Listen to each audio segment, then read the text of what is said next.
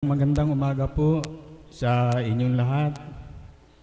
Mapapalad po tayo na nagsumikap upang makarating sa banal na lu- lugar na ito upang kantin natin ang pagpapala ng Panginoon.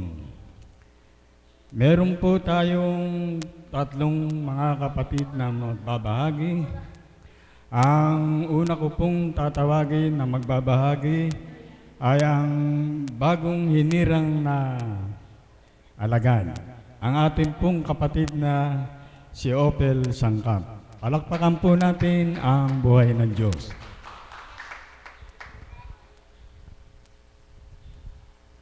I-praise and thank you, Lord, sa lahat na ito. Papurit pa sa salamat ka sa iyo. Sobrang kagagawan po, Ama. Ang maraming salamat ka sa oras na ito, Panginoon. Nawabot at nabayan niya po ang mga ng Espiritu upang mapagbahagi po at makarapat ayon sa kalooban mo. Amen. Magandang umaga po sa gabing ito. Gamat lang po tayo, subalit ang kagalakan pong nararamdaman ko sa aking puso, nag-uumapaw po. Pinupuri ko po at pinasasalamatan ng Panginoon sapagkat nandito po yung buong pamilya ko. Nais ko lamang pong balikan yung tema kanina sapagkat ako po nagnanasa po ako magbahagi. Subalit po hindi na po niloob ng Ama. Subalit ngayon po, hindi po ako binigyan ng Ama. Binigay po niya yung kaparaanan upang ako yung magbahagi. Ang tema po natin kanina ay konsensya po. Ng mga nakaraang linggo po na yan, yan po ang nadama ko sa aking buhay. Na ginamit ng kaparaanan po ng Ama sa katauhan po ng kapatid na promise. Ibig ko pong ibahagi sa inyo ang kaganapan sapagkat nag-uumapaw po ang kagalakan sa aking puso sapagkat napakahirap po talagang tumupad kung magbibilang tao ka, subalit napakabuti po ng Panginoon sapagkat bawat isa po sa atin may konsensya. Nung pong pagkatapos po ng gawain, sapagkat di po nilob ng Ama na makapagpabless po ako sa mahal na, na maapo dahil nagnanasa po akong dumulog sa mahal na apo sapagkat sa isang kaganapan po sa aking buhay na nandyan po ang aking pamilya, apat po yung anak ko, yung pong may git isang taon lang. Ayoko pong paghirapan ng aking kalooban, yung pagdako ko po dito sa banal na dambana kaya Binigay po ng kaparaanan ng ama na sa kakatauhan po ng kapatid na Tita Promise po, doon po ako nakadulog haba pong inaayusan po yung buhok ko. Ang ganito po ang dulog ko, sabi ko, sa patnubay po ng ama, nais ko pong magbahagi po sa inyo, mahal na kapatid, kung loloobin po ng ama, nawa po, makantan ko po yung kasagutan. Ang sabi ko po sa mahal na kapatid na ayaw ko pong magkasala ang bawat isa. Alam ko po mauunawaan ng Ama at pagkakaloob po niya sa akin ang marapat at dapat. Ang sabi ko po marapat po kaya ah, kalooban ng Ama. Ayaw ko pong pagkasalaan nga po. Mayroon nga po akong anak na maliit, yung pong tatlo nag-aaral pa. Tuwing nga alis po ako ng tahanan, nandun po yung, hindi naman po automatic na nagtatalo, subalit nandun po yung sasabihin sa'yo ng pamilya mo na, bakit ipinangako mo ba na araw-araw ay dumako ka doon? Sang-ayon naman po sila sa pagpunta dito, subalit nandun nga po yung mga salita na hindi ganap na maunawaan na hindi kailangan ng pangako sa Panginoon sapagkat kahit minsan po hindi po hiniling ng Panginoon na mangako ka sa Kanya. Ang pagtupad po sa kalooban ng Ama ay kusa pong nararamdaman sa kalooban. Udyok po sa puso, yung po ang tinatawag ng konsensya na pag hindi ka nakatupad sa kalooban ng Ama, nandun po yung paghihirap ng kalooban mo. Kaya nung pong nakadulog po ako sa mahal na kapatid, sabi niya, Huwag mong panaigin ang pagkatao mo sapagkat ang Panginoon ang mga ngalaga sa mga anak mo. buhay po ang Diyos sapagkat isang buwan na po ang sa pag-aaral mga bata. Naiiwan po yung maliit ko. Pagkagaling ko po dito sa banal na dambana, aabutan ko po yung anak ko. Okay po siya, masaya. Pagdating ko po sa tahanan, nagbe-bless po siya sa akin. Nangihingi ng candy, pasalubong.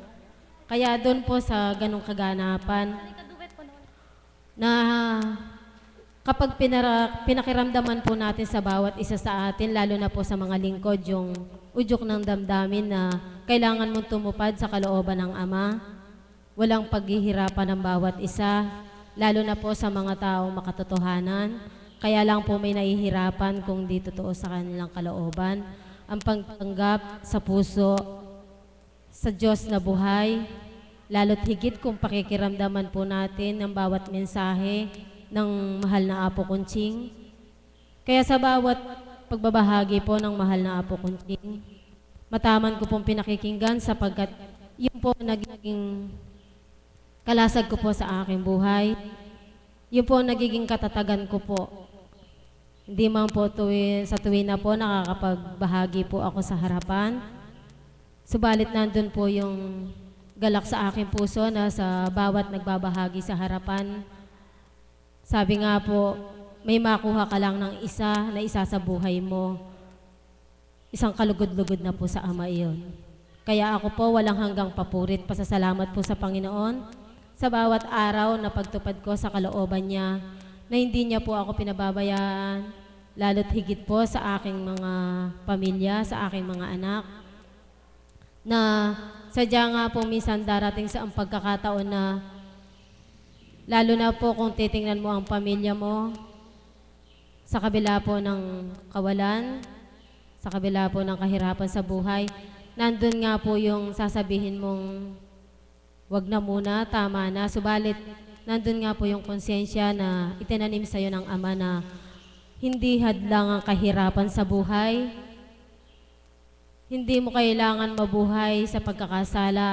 Kung hindi, tumupad ka sa kalooban ng Ama, siya ang bahala sa pamilya mo, pangangalagaan niya, at dun mo mo maipagsisigawan na ang Diyos ay buhay.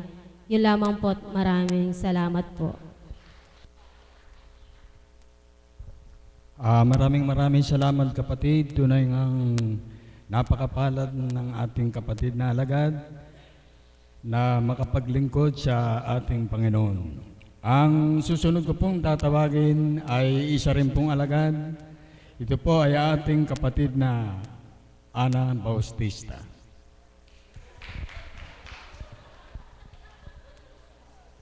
Maraming salamat, Ninong. Yun na po yung bago kong apelido ngayon, Ana Baus Testa. Napakadaming Baus. Salamat po sa Ama, sa kabuti at kadakilaan niya, sa mga sandaling ito na muli ay pinagkaloob niya na makapagbahagi po ako sa inyo, sa atin, tayo pa din po. Magandang umaga po sa inyong lahat sa gabing ito. Wala po akong balak magbahagi. Ako po ay naghahanap ng mga sharer. Subalit na pinakinggan ko po si kapatid na Ophel, sabi nga, konsensya, pumukaw po sa aking damdamin yung kanyang sharing. Na sabi niya, hindi nga daw dapat mangako sa Diyos na ikaw ay tutupad, kundi dapat gaganap ka lang sa bawat araw kapag pinakikinggan mo ang iyong konsensya. Amen po ba? Pumukaw po sa akin. Sabi sa kapatid na Ophel, ah, mabuti pa siya buo ang pamilya niya, andyan. Ako po, buo din po ang pamilya ko andun. Alam mo kapatid, yung bahagi mo na sa bunso mong anak, yun po ang pumukaw sa akin. Ganyan din po kasi ako nagsimula. Nga po, ang bunso ko noon, yung bunsong babae, dalawang taon. Ang pagkakaiba lang po, pagkalipas ng labing apat na taon, iba ang kabataan ngayon, iba ang kabataan noon. Kasi po noon, wala naman akong naiiwanan, kundi yung panganay ko na apat na taon. Basta po, magluluto na ako, sasabihin ko doon sa panganay ko na umakyat ka sa upuan na ito, yan yung kanin, yan yung ulam, alagaan mo yung kapatid mo na dalawang taon. Yun po ay nagaganap kapag kami po ay magsisimba. Halimbawa, pupunta kami ng Manawag, pupunta kami ng Antipolo, sa mga pagkakataon na hindi ko sila pwedeng isama. At katulad nyo nga po, ang sabi nyo, hindi kayo naunawaan ng paligid nyo. Ako din po ganon. Hindi ko po babanggitin, baka Ate Medi, peace. Ang sabi po ng mga mahal ko sa buhay, hindi ba pwedeng sabihin mo sa Panginoon na paglaki nila ng mga anak mo, doon ka maglingkod? Alam niyo po, sabi nila matigas ang ulo ko, matigas ang kalooban ko, kasi hindi ko po sila sinusunod at hindi ko po sila pinakikinggan. Ang pinakikinggan, pinakikinggan ko po ay ang aking konsensya. Ayan po. Kung ano ang sinasabi ng aking damdamin, yun po ang sinusunod ko. Kaya lagi po sinasi, lagi nilang sinasabi na ang tigas daw ng ulo ko, ang tigas ng kalooban ko. Dahil sa edad na dalawang taon, iniiwanan ko yung anak ko. At ang nag-aalaga, yung apat na taon, yung ate niya. Kaya yung panganay ko po, maaga po yung na-train maglaba, magluto, magganito. Sa murang edad niya, para bagang pilit kong pin, si- isinusubo sa kanya yung obligasyon. Pero sa mga pagkakataon naman po nangahayo kami, nakakasama ko silang dalawa.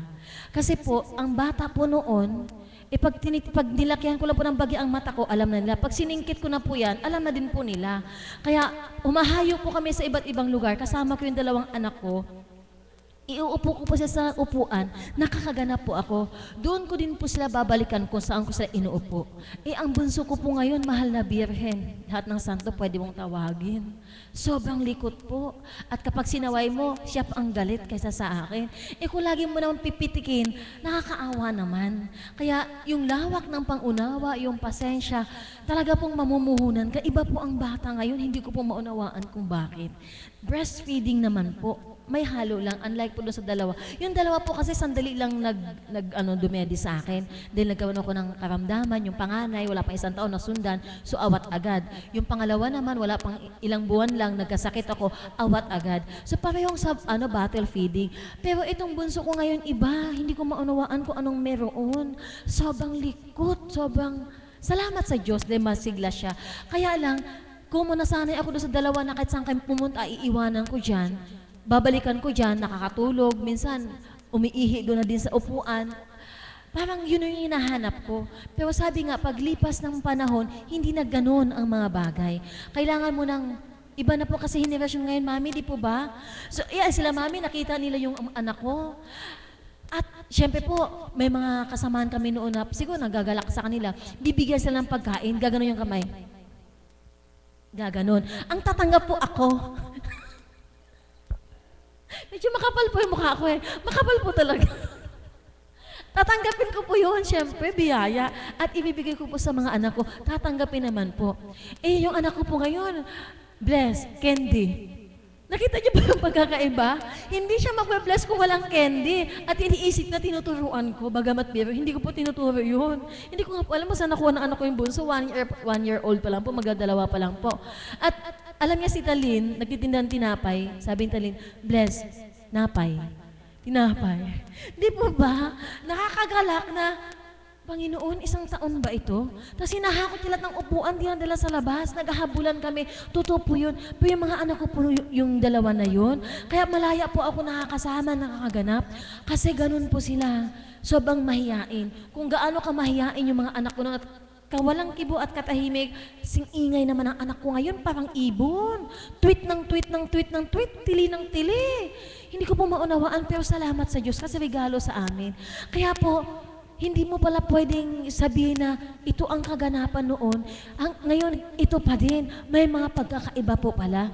Pero, iba man ang kaganapan noon, iba man ang kaganapan ngayon, mayroon pa din ba rin tayong iisang Diyos na gumaganap sa ating buhay upang makaganap tayo sa ubasan niya.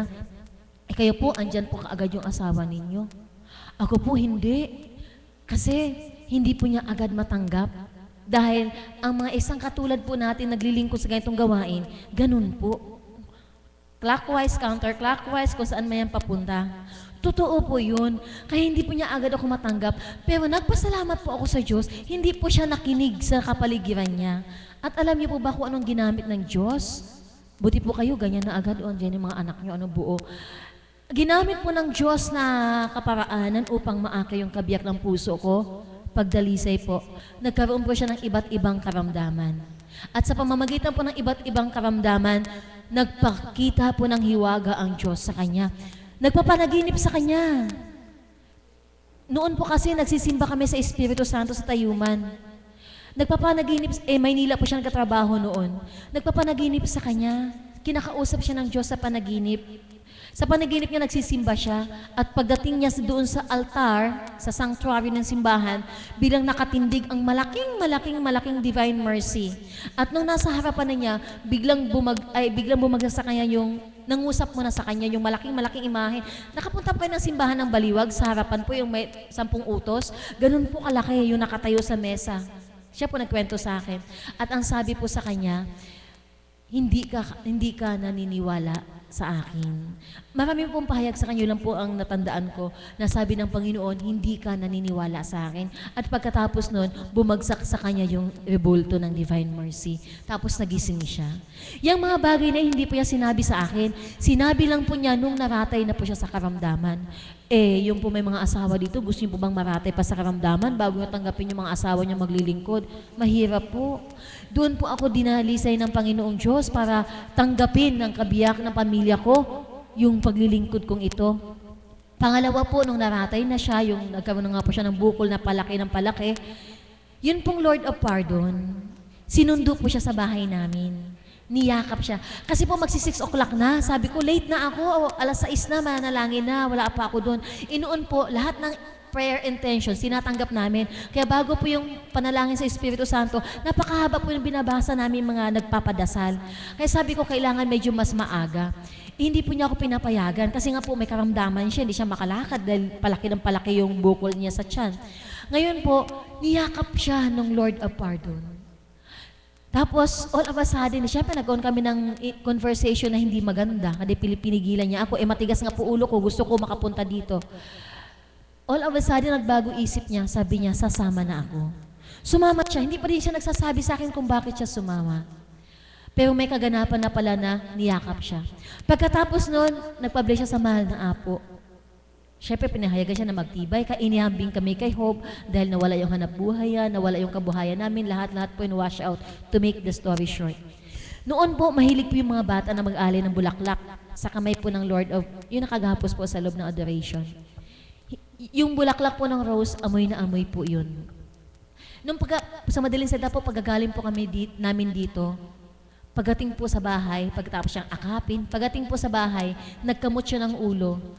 Pagkamot niya ng ulo, sumi, nagpa, sumimo, yung, yung smell po ba, yung amoy ng rosas, bigla po niya nalanghap.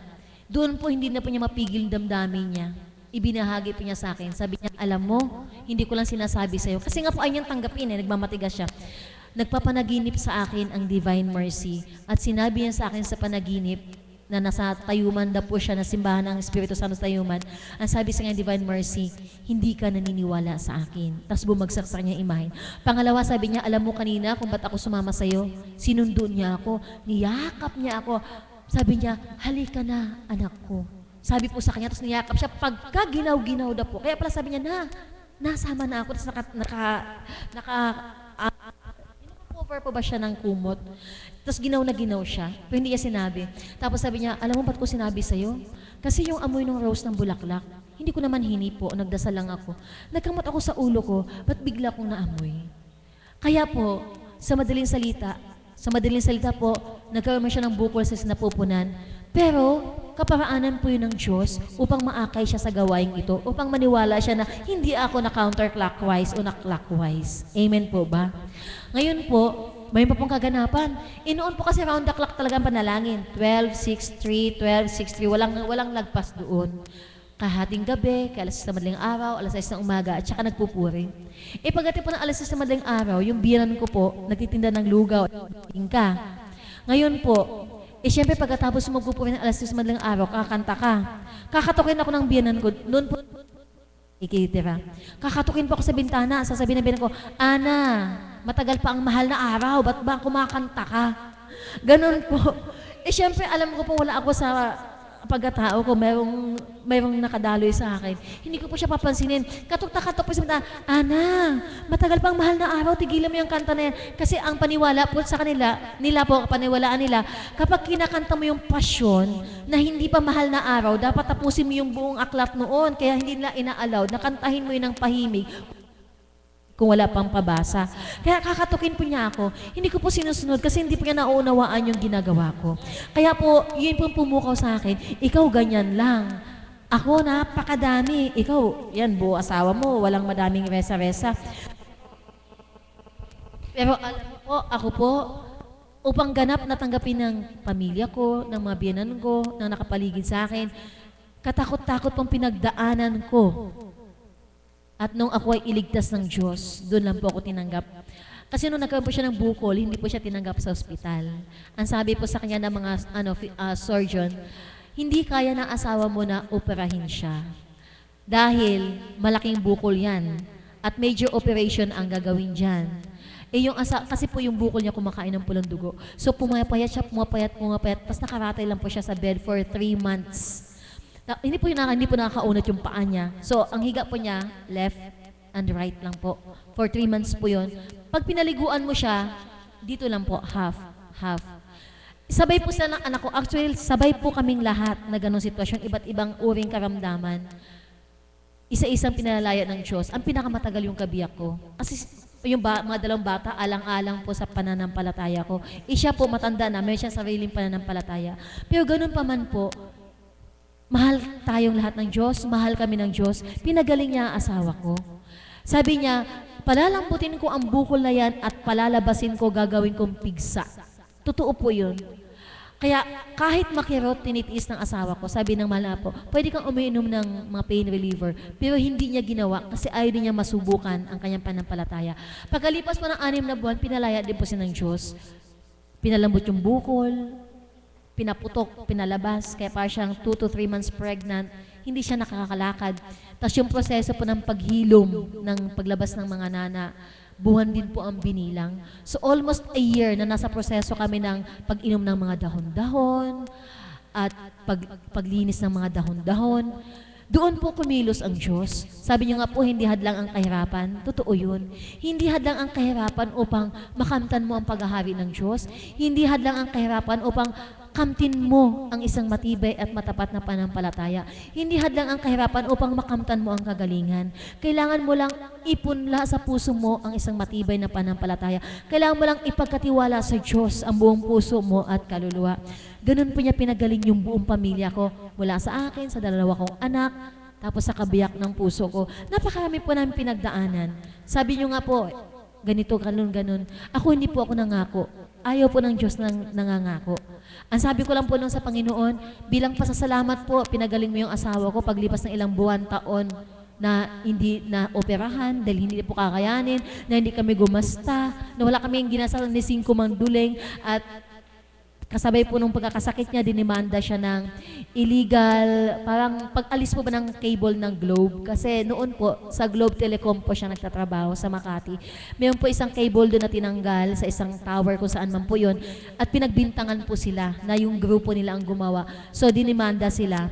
Sabi ng mahal apo, huwag kang malumbay lalabas ang katotohanan na wala kang kasalanan. Kung ano man yung mga benefits na ibinigay sa inyo, higit ang mawala sa kanila. So sa madaling salita po, wala man pong daang libo yung sa kanilang grupo na dapat maging benefits na tatanggapin nila. Pero yung po nalugi ng kumpanya na yung dapat para sa kanila hindi ibinigay, 80 billion po yung halaga na nalugi sa kumpanya. Hindi po ako nagagalak. Ang sa akin po, lagi pong pinatutunayan ng Diyos na ang pinaglilingkuran ko ay Diyos na buhay. Pinakita sa pamilya ko, sa kanila, kasi doon po sa nakapaligid, tanggapin man ako o hindi, okay lang sa akin. Kasi alam ko naman kung sino yung pinaglingkuran ko. Ang mahalaga yung pamilya ko po. Sa madaling salita po, lahat po ng sinabi ng Banal na Espiritu sa katauhan ng Mahal na Apo Conching, naganap po. At nung maganap lahat yun, naging malaya po ako.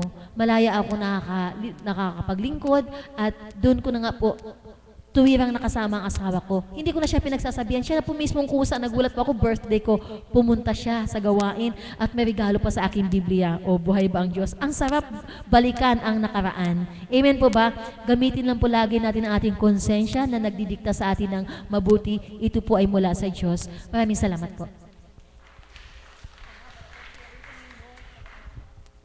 Maraming salamat kapatid.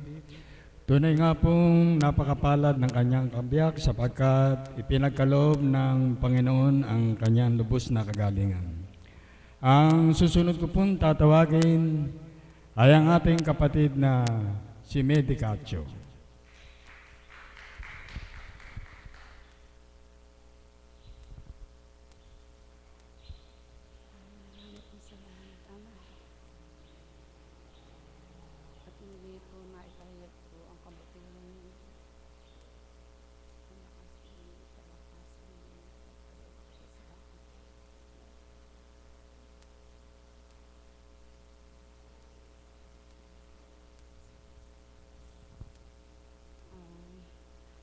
Magandang umaga po sa inyong lahat. Mahal na Ama, salamat po. Mahal na Apo, sa mga caps, mga alagad na ako po yung tema po ngayon eh, ugma-ugma po sa konsyensya. Ako po yung nakukonsensya. Eh, tingnan nyo nga po sa konsyensya, siguro sa pangmadali ko, tingnan yung suot ko. Talagang buhay po ang Panginoon. Sabi ko sa mister ko, sabi ko, ay, ano ng oras? Eh, may bumibili. Sabi ko, heka muna. Ah, ay, kapatid, tingnan nyo nga yung halata ba yung butas ni rin, ano, kung hindi naman halata, ano. Bakit po? Eh, gusto ko umaten sa Divine Mercy. Eh, magpag magbihis pa ako, malilate ako. Hindi ako makaka-attend sa, sa, ano, sa pagdarasal ka ako, gusto ko maka-attend ako sa pagdarasal. Halata ba? Hindi naman. Oo nga ako, hindi ala. Sige, tuloy. Eh, kanong mister ko sa akin, palitan-palitan mo nga yung kung a-attend ka, palitan mo. Ay, hindi ka ako, malilit ka ako, kung hahanap ako na isusuot sa taas. Yun, uudyok ng konsyensya, hindi ko na po inisip. Itong suot ko eh. Ayan po. Oh.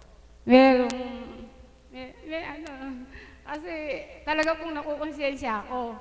Matagal na kasi pagka hindi po ako nakaka-attend, sa dami ng blessing na binigay sa akin ng Panginoon, pati yung kalakasan ko kung bakit ako nandito, patuloy akong may lakas, patuloy akong um, sa mga pinagdaanan ko po, dahil sa Kanya, nakaraos. Tapos, ganun lang eh, hindi ko maibigay yung, yun nga po, pumapasok ang konsyensya, napakaano po talaga. Panginoon, salamat, papuri. Ako po yung nagpapasalamat ako kay Apo Kunching, tsaka sa mga alagad na patuloy na nagdadasal sa katulad namin hindi nakakatupad, sa katulad ko na hindi nakakaganap na tumupad na sa yung Miyerkules o araw-araw pumupunta dito. Ako po sa amin, pag bandang alas tres, naaalala ko na po itong ano, simple lang po ako, nakaganyan po ako rin sa mahal na Divine Mercy ko doon. Sumasabay lang po ako, nagdadasal ako pag alam bumibili. Pero sa totoo po, masaya pong masaya talaga ako kung pag nakaka-attend ako dito sa Dambana. Ang la- eh, yung mga nag-aano nga sa akin, mayroong mga iba't ibang relihiyon na nag-aanyaya sa akin. Eh, ang sagot ko po eh, And, doon nga po ako sa pinupuntahan ko sa Divine Mercy, ang nagbibigay sa akin ng lakas, hindi ako nakaka-attend ng regular eh. Sabi ko, pasensya na kayo kapatid. Sabi ko, kung, kung ang pag-anyaya niyo sa akin, eh, hindi ako makadalo. Kasi, ano, yung, yun nga rin ako, nakukonsensya rin ako. May, ang tao po palang may konsyensya ka. Pag umanda ng konsyensya, talagang parang kang, ano eh, kaya sabi ko, pasensya na. Kaya ngayon kahit yun yung akin, hindi ko na alantana ang kasuotan ko. Ang importante, makadalo. At mm, ang mister ko, total naman kako, wala naman sa bukid. Nandyan, recess nila sa bukid. Ano pa, dahilan? Ba't, ba't pwede naman akong tumakas? Kasi sabi ko, ay, dadalo, dadalo ako. Sabi ko gano'n. Sabi ko, Oh, naman, tingnan ko nga ito. Kahit nakakaya. Kaya salamat po, Panginoon. Salamat sa mga alagad na nagdarasal, na patuloy na umunawa. Kay um, Mami Marisa, salamat po sa pagdadasal nyo. Sa inyo po lahat. Especially po kay Apo, na kahit po marami kong, alam ko po yung mga pagkukulang ko na hindi ako nakakatupad sa mga araw na gusto kong pumunta dito, hinihingi ko po, patuloy niyo po sana akong unawain. Patuloy niyong ipagdasal ako. Dahil kayo po ay ganun din po, kahit di niyo, di niyo ako kasama dito, naaalala ko po kayo. Sa tuwing nagdadasal din po ako, sinasama ko rin po kayo sa dasal ko. Na sana sama-sama tayo, na patuloy na nakakaganap sa araw-araw na gusto nating gawain. Ah, pinagpapasalamat ko din po. Matagal na po kasi ito yung Nagpa-check up po ako tungkol naman po sa paano po siya kadakila. Nagpa-check up po ako, dapat po matagal na po itong na-share ko. Nagpa-general check-up po ako, bone scan, liver, chest x-ray ko po, mammogram ko. Sa makatwid po, lahat po ng buo kong katawan, in-examine po. Ah, salamat po, Ama. Ang resulta po ng bone scan ko, normal. Mammogram ko po, normal din po. Liver ko, ah, normal. Lungs ko, normal. Kaya, sa, yun po ay matagal ko pa po sana ipag, gusto kong makapagsalita. Kaya salamat kapatid na Ana na nilapitan mo ko. Dati, pag nilalapitan mo ko, nanginginig ako, ayoko magsalita. Ta- ano na, talagang, ito po, ito yung patunay na, ano, yung, nag-healed na yung ano ko, yung, sabi ni mother, isang alagad, pinagaling yung spirit, yung ano ko, yung buo kong pagkatao dito, lahat nawala. Dati malungkutin ako, iyakin lahat, pagdaramdam. Nawala lahat, ganun pala. Kapag pala lahat pala, pinakawalan mo. Yun ang napipil ko po talaga. Lahat po, hindi ko na po pinapaki... Ano man po yung masakit na nakikita ko, wala po. Ngingiti-ngiti na lang din po akong ganun. Kaya ang sabi sa baliwag, pag nagagawi po ako, ay, Aba, teka, bumata ka. Ah, pinagmamalaki ko po. Kasi sabi ko eh, ano eh, yung sa ka-attend ko sa Divine Mercy, pinaano ka ako, ko na, doon ko ako na-realize lahat, lahat, na dapat eh, yung pala, ako rin pala pinaparusahan. Ako na gumagawa ng mabuti. Tapos, kung ako'y magdaramdam at doon sa ginagawa nilang kinagagawan mo na mabuti, yun ang, yung paggabi eh, iniisip mo, ba't ganun ang ginanti sa'yo, ba't ganun ganun. Ako rin po pala, ang sa akin din po pala nagre-reflection. Dito ko nalaman, dito ko, sa pakikinig ko dito sa Divine Mercy, sa, dito sa dambana ni Apo Conching, doon ko po na-realize na pinagaling lahat po ang buo kong pagkatao. Natuto po akong lawakan ng pag-unawa. Pag magagalit po ako, nakikiti naman po ako, hindi na po yung Dati talagang halatang halata pag galit po ako, tsaka iwasan kita. Ganun po. Kaya salamat po, mahal na Ama, pinalayan niyo po ako. Salamat din po sa lakas na pinagkakaloob niyo sa akin sa araw-araw. Kung wala po kayo, wala rin po ako. Ala po. Kung hindi niyo po kami gagabayan sa araw-araw, ala po kaming magagawa. Kaya, Ama, salamat po.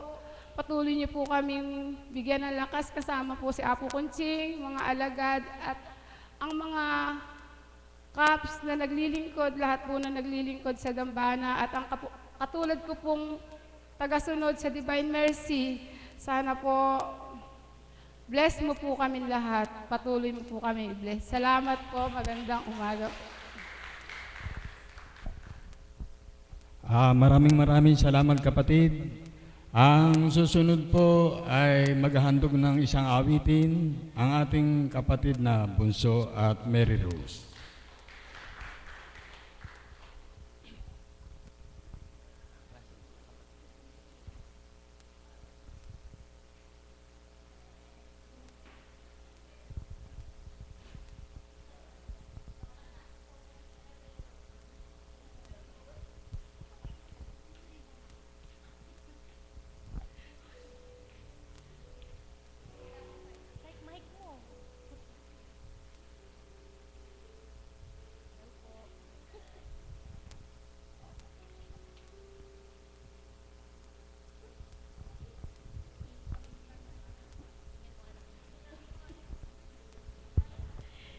Isang mapagpalang umaga po ulit sa gabing ito. Kanina pong tanghali, kumanta na po ang anak na Mary Rose, ano po. Kaya lang tinatanong niya ako kung alam ko yung we are all God's children. Sabi ko, anak, hindi ko alam eh. Sige po, eh, kaya na lang tell the world, sabi niya. O sige, kako, do it tayo.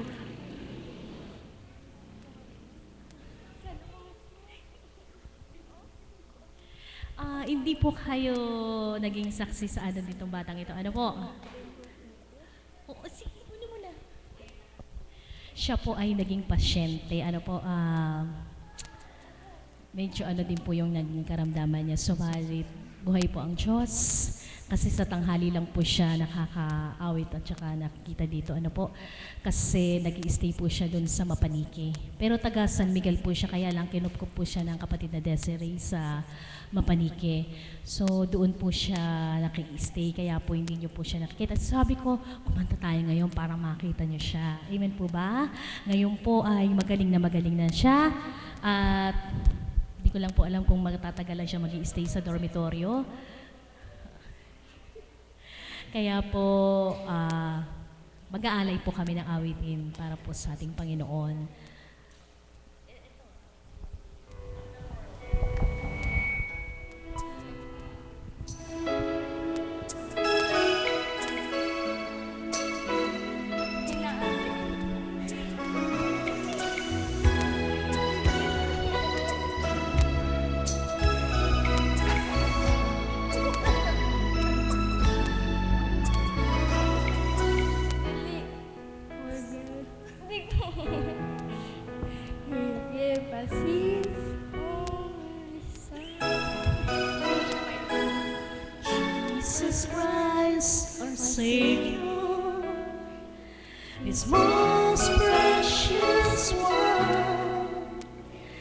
He has blessed us, blessings oh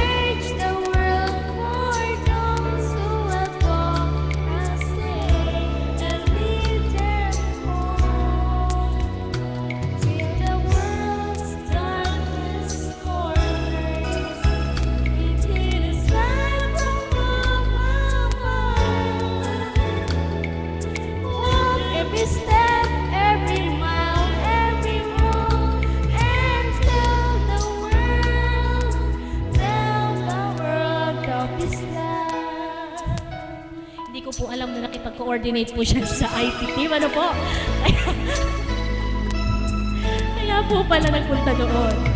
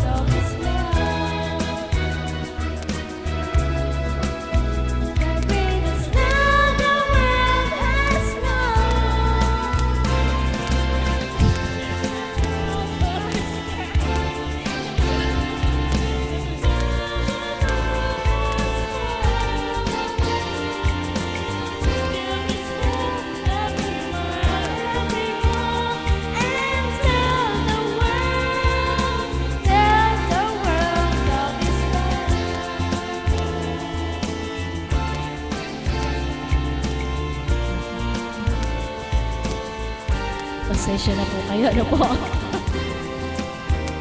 Yun nga po, um, salamat po IT team. At pinaunlakan po ninyo ang request ng ating anak na ito, na si Mary Rose po. Ano po? Hindi ko po alam na talaga nakipag-coordinate po siya. Ang alam ko po kasi si tatay ang tutugtog. Ano po? Ah, ito pa po ang isa. Ito naman po kinanta niya nung tanghali. Kaya po ulitin po namin para po sa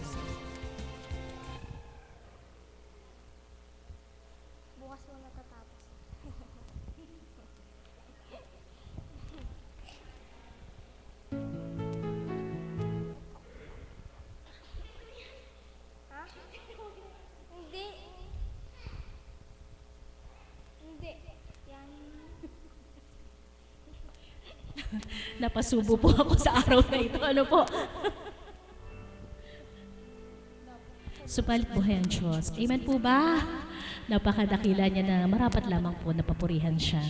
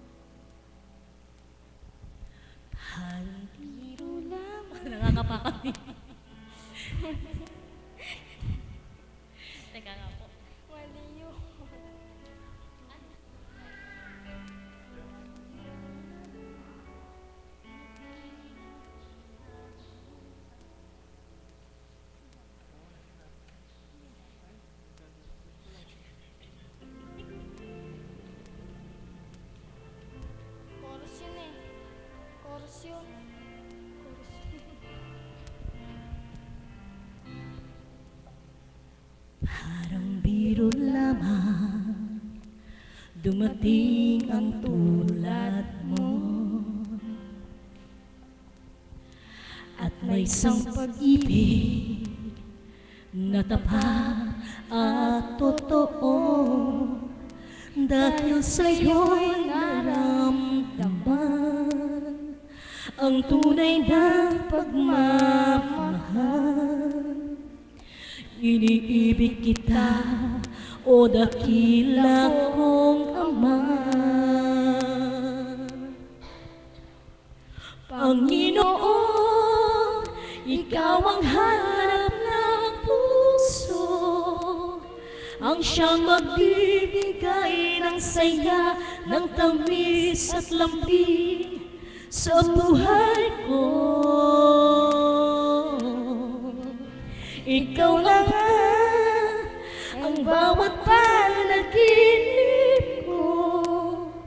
Sa piling mo'y nagkatotoo Ang lahat ng mga pangarap ko Ikaw na nga ba?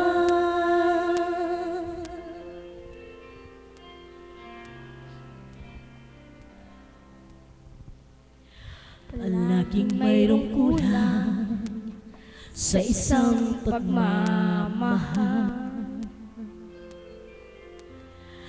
Tanging kailangan, puso ay mapagbigyan.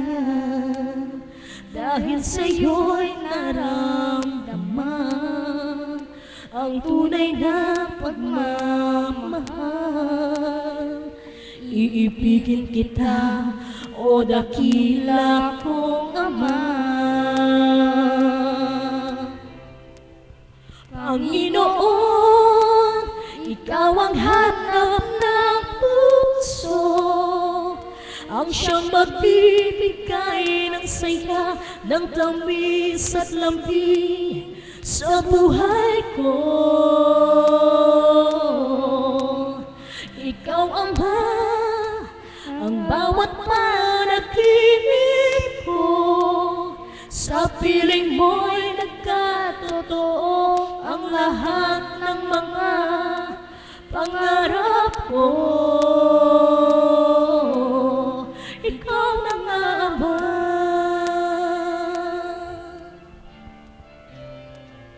Nawa po hindi po kayo naantok sa kanta namin. Ano po?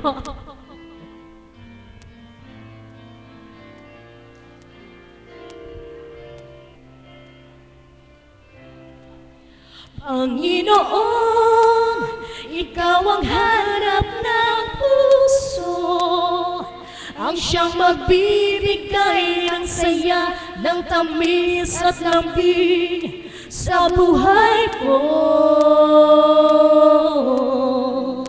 Ikaw, Ama, ang bawat panaginip ko. Sa piling mo'y nagkatotoo ang lahat ng mga pangarap ko. Ikaw na nga, Ama.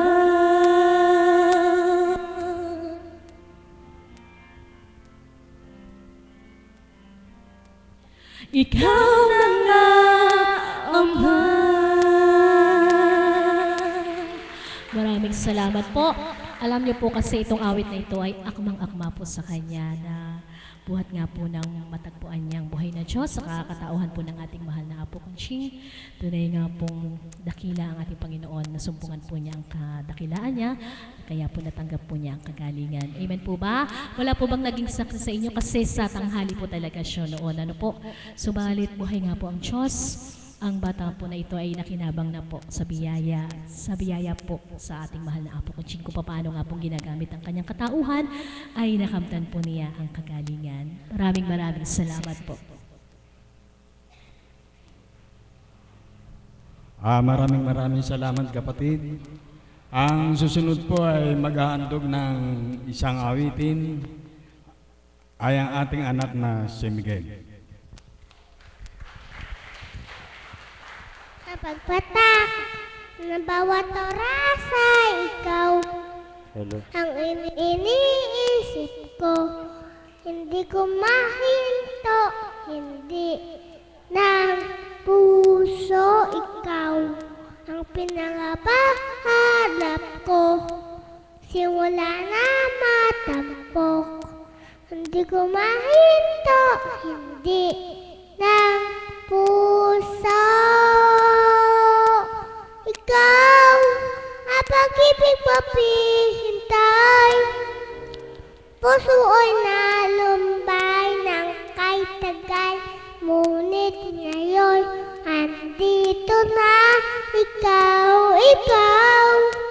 Ang pag-ibig papihintay. Puso ay nalumbay tagal. Ngunit ngayon, andito na ikaw, ikaw. Ang pag-ibig papihintay.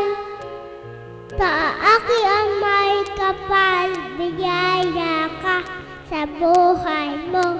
Igaya'y pag-ibig ko ikaw. At kung di pa o isip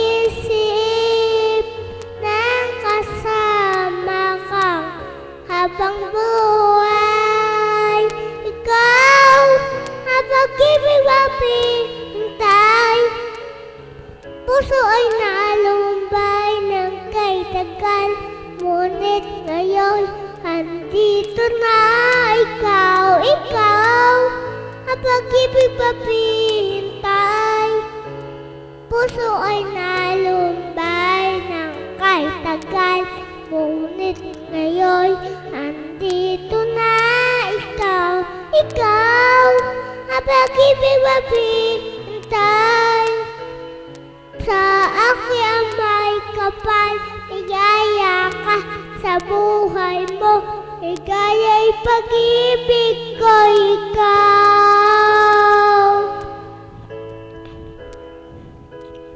At kung di pa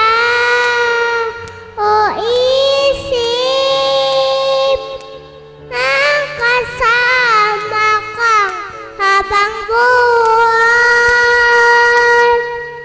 Ikaw ang pag-ibig ang hintay sa aking may kapal. Biyaya ka sa buhay mo, ligaya'y pag-ibig ko'y ikaw.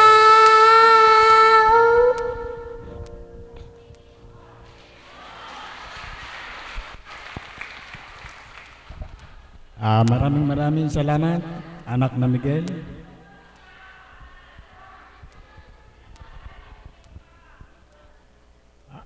Ang susunod pong tatawagin ay ang ating Mother of the House.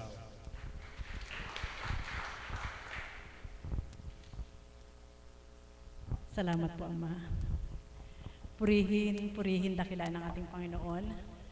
Sadyang napakabuti ng Diyos sapagkat sa bawat araw na tayo nabubuhay, ibinibigay sa atin yung kaukulang aral na sa pamagitan ating mahal na Apo Kunching ay na isa sa larawan kung ano yung gusto ng Diyos sa bawat isa. Amen po ba yon? Bakit ito po yung ah, pumasok sa isip ko habang umaawit po ang dalawa, si kapatid na Leng at si, si Mary Rose. Bakit dinatal sa, sa isip ko yung ganito, anak? Paano nga ba kayo magiging extension ko sa lupa? Paano ako makikilala ng tao sa, sa katauhan ninyo? Yun po yung mga tanong na, na ininukal sa aking kaisipan. At ito po yung nais ko pong sa aking pagninilay, sa karampot na pag-upo ko, nakapagnilay ako. At sabi nga ng ating Panginoon, ganun pala, maisasalarawan ang gawa ng ating Panginoon kung tayo tumutupad din doon sa mga aral ng ating Panginoon. Buhay pa ba ang Diyos? At malinaw, tinura niya, may mga tao na napakahigpit, ayaw magbigay. Kapag sinuri mo, hindi mo masasabi na ang Diyos ang gumaganap sa kanya sa oras na yon. Amen? Sapagkat ang Diyos ay hindi kuripot, hindi madamot, kundi mapagbigay. Ay, ba ang Diyos? Pag nilayan niyo po ito, ha? Sandali lang po itong pagninilay. Sapagkat, oo nga naman, kung kiniklaim po ng bawat isa, hindi pa ako nangangaral. Subalit ito ay isang aral para din sa akin na dapat kong ah, gawing isa buhay. Oo nga naman. Bakit nga ba minsan ang hirap nating magbigay? Samantala, madamot. Amen? Bakit ba minsan napaka ano bang ta- tawag nito? Bakit kailangan natin gulangan yung kapwa natin samantalang ang Diyos naman hindi magulang? Amen? Tapos nasasabi ng tao na, maka-Diyos ako. Buhay po ba ang Diyos? Amen po ba yun? Alam niyo po, sa karampot na pag-upo ko dyan, oo nga naman. So susuriin mo ngayon ang sarili mo. Sorry ama kung kuripot ako, samantalang hindi ka kuripot. Sorry ama kung ako ay madamot, samantalang hindi ka madamot. Ganun po pala. May isa sa larawan po pala natin yung mga aral na totoong ang Diyos ang sumasa atin kapag yung katangian niyang ilan ay matupad din natin. Buhay po ba ang Diyos? Amen po ba yun? Kaya mga kapatid, nawa po, masakayan niyo po itong pagbabahagi ko. Totoo po yun. Bawat araw, sabi ko nga, habang nag, nagbabahagi si kapatid na Ana, kapatid na Ana, bakit nga ba ang mga bata daw ngayon ang kukulit? Yung pagkakulit po ng mga bata, kaiba. Amen? Sobrang kaiba ang pagkakulit ng mga bata ngayon. Alam niyo po, pumasok tuloy sa aking kaisipan yung sinabi ng ating Panginoon na inaaral po sa harapan na mahalin tulad kayo sa mga batang ito at kayo makakarating sa kaharian. Alam niyo po, hindi po pala literal na tularan yung mga bata. Eh, yung kakulitan ng mga bata ngayon, hindi pwedeng tularan. Buhay po ba ang Diyos? Amen po ba yun? Opo, iba. Na, na, namamanipulate na po sila no, yung, yung dating ng panahon. Yung man, maki, ma, ano, baka, ma- makabagong dating ng panahon na, na maraming, maraming ah, na, na-invento ang tao. Hindi na ang Diyos ang nasusunod. Amen? Kaya yung mga bata ang kukulit. Nag, yung mga gadgets, halos pakialaman kahit hindi marunong magbasa, papakialaman. Alam niyo po bakit ko po nasabi yan? Si, kapatid na Angel, sobrang kulit. Yung bagong relo ni Daddy Ipo, ano po yun eh, touchscreen. Po, hindi po ito pagmamayabang. Akala niya cellphone. Tinouchscreen, touchscreen ka niya, sira agad. Nasira, nawala yung program. Buhay po ba ang Diyos? Amen po ba yun? Sige po. Y- yung ganyan sabi ko, kapatid na Pearl, hindi ka Aral mo daw yung mga bata para makarating riyan. Sabi ni Kapatid Pearl, paano ko tutularan yan? Naninira ng gamit. Buhay pa ba ang Diyos? Amen po ba yun? Mga kapatid, ganyan lang po kasimple. Iba na po ang panahon ngayon. Amen? Kaya salamat po at may isang apo kunching na ipinakakaloob ang ating Ama para sa makabagong panahon ngayon, yung ating isip ay naiaaral na angkop sa ating Panginoon. Amen. Kaya kung makikita po natin yung mga bata ngayon, dahil hindi pa nila alam yung gusto ng Panginoon para sa kanila, ang sinusunod nila yung makab- makabagong panahon kung ano yung trend ngayon. Amen? Paano kung walang espiritu? Buhay pa bang Diyos? Diyos ko, Ama, salamat. At nariyan ka sa pamagitan ating mahal na Apo Kuching. Inaaral po sa atin ng malina. Ito yung gusto ng Diyos habang tayo na doon kanyang pahiram. Amen po ba yun? Buhay po ba ang Diyos? Kaya mga kapatid, mapapalad po yung may mga salapi. Kaya kayo may mga salapi, mapalad po kayo. Mapalad po kayo. Bakit? Pagkat ibinigay ng Ama yung pagpapala niya na ipinagkatiwala sa inyong mga kamay. So, so mga, mga, mga, mga, may babagya. Eh, may po ba yun? Yung madamot. Tawad po. Pero ito po yung sabi. Sapagkat ang Diyos nga eh. Hindi nga magbigay. Mag- mag- Magbigay. Kaupo ako, Ama, ganun po ang magaganap, walang maghihirap. Buhay po ba ang Diyos? Amen. Opo. Po talaga. Sa, sa magiging pantay. Walang makainin. Yung walang pera, bibigyan ng pera. Sapagkat may nagbibigay, na totoong nagbibigay, na hindi mo babayaran. Kundi ang ibabalik mo sa kanya, ibibigay mo na lang sa kapwa mo. Buhay po ba ang Diyos? Eh po kayo, yan po ay kulang malalim na pagninilay. Oo nga naman. Doon nga po, amaze yung, yung, yung gawa ng ating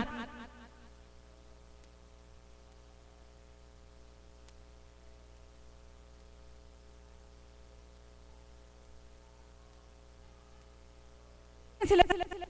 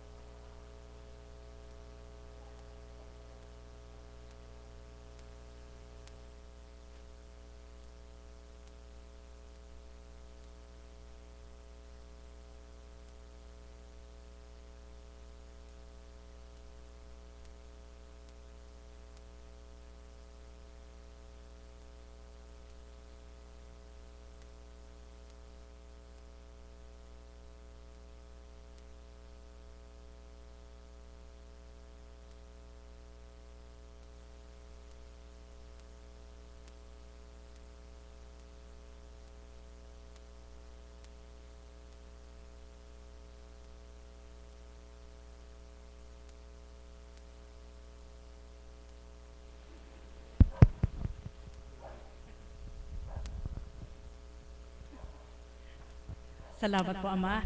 Purihin, purihin dakilan ng ating Panginoon.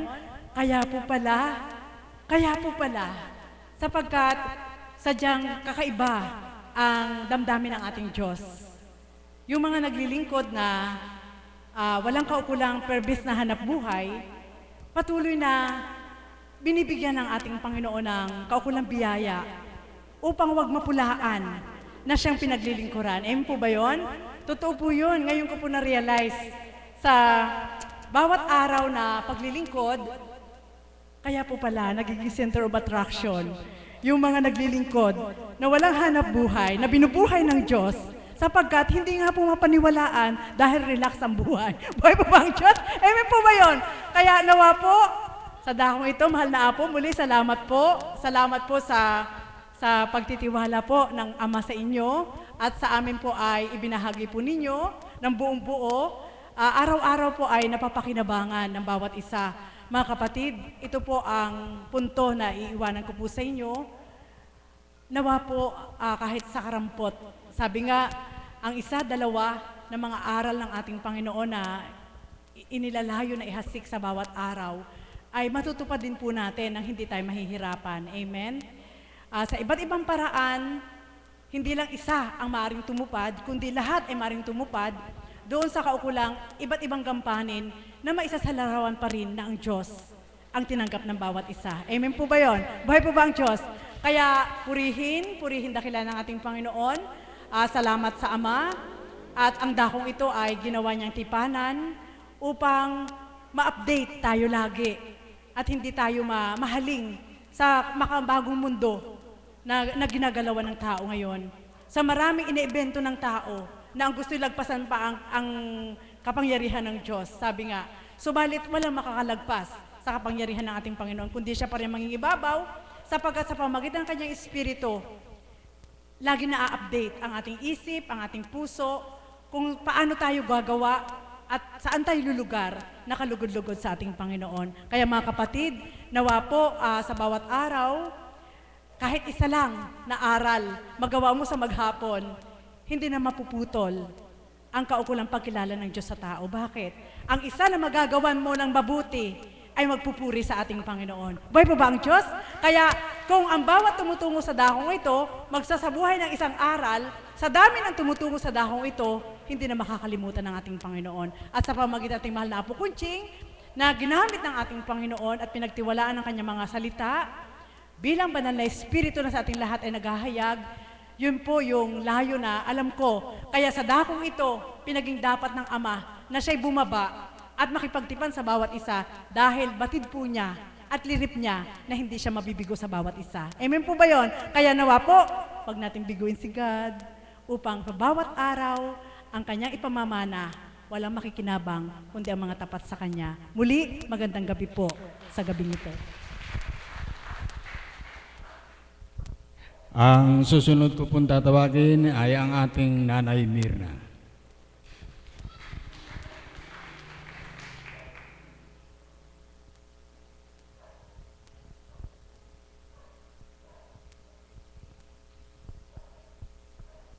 Ah, tayo po'y magsitayo upang awitin ang panalangin itinuro sa atin ng Panginoon. Ah, ah, sorry po.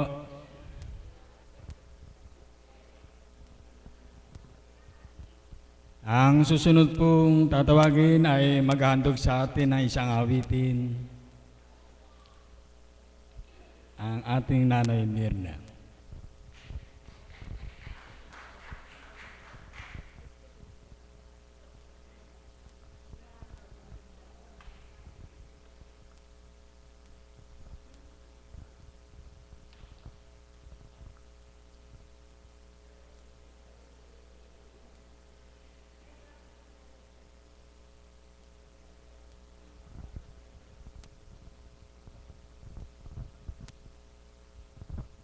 Salamat po, Ama. Salamat po muli sa iyo. Purihin ka at pakilain ng walang hanggan. Buhay po ang Diyos at muli po ay isang mapagpalang umaga po sa gabing ito. Sadyang pagdating po sa pagtawag ng Panginoon, hindi po ako nahihiya sapagkat ang katotohanan po, sabi ko parang ang lungkot ng weekends ko. Kaninang umaga, ang tema, konsensya, ano. Pag nagkulang ka sa Diyos, ka- kagaya ng bahagi ni Mother, na kakakonsensya, ano po. Kaya buhay na buhay ang Diyos. Gusto ko sanang ibulong sa mahal na apo, parang gusto ko pong mag-alay. Subalit inaagaw ako ng damdamin ko dahil lumalalim na yung gabi. Sabi ko nga, okay na po mahal na apo kasi kagabi, maghapon hanggang gabi ginagamit naman ako ni Lord. Eh, sa kapahintulutan po ng mahal na apo, nais kong awitin ng awiting laging pinaawit sa akin ng Panginoon. Oras na. Oras na. Kapatid na architect, hindi man po ako nakaawit kaninang umaga, ito po ay para sa ating lahat. Ang takot ay nasa isip lamang. Di ko po alam ba't pinaaawit lagi sa akin ito ng Panginoon. Marahil, para din sa aking sarili. Ano po? Laban.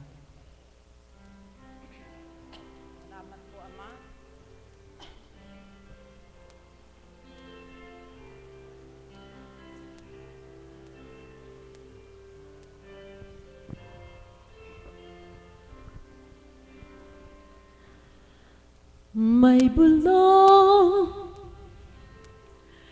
Dinggin mo. Ihip ng ating panahon. May sikhang. Dinggin mo. At ubos na ang oras mo. Oras na. Mapasya. Kung saan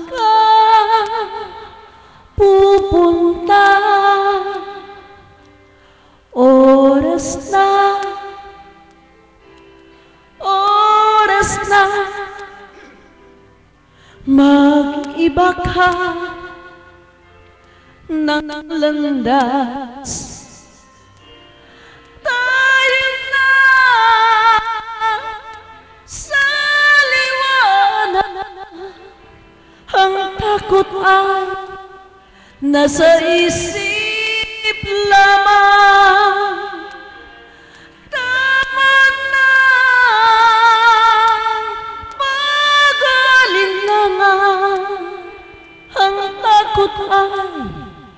nasa isip lamang Kung daan di tiyak at ang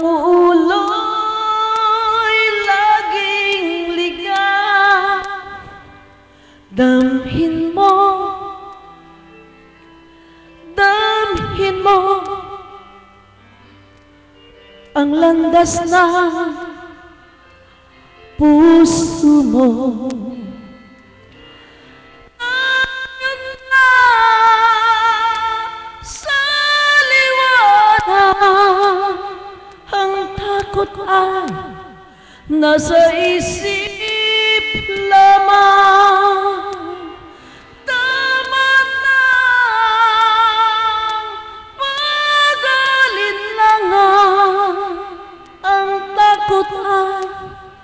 nasa isip lamang. Dinggin mo Damhin mo Ang landas ang puso mo. Oras na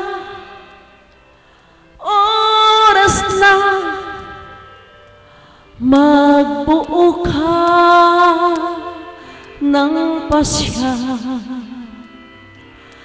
Tayo sa liwanag Ang takot ay nasa isip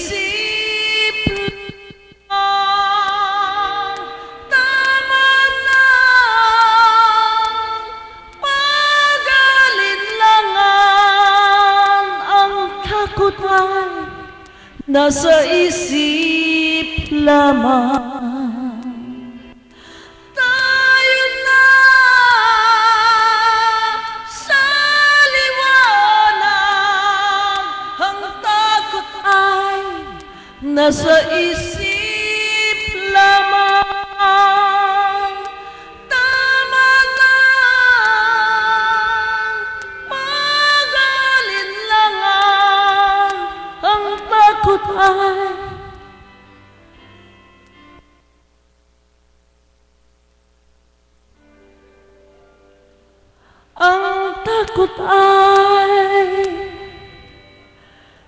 nasa isip lamang.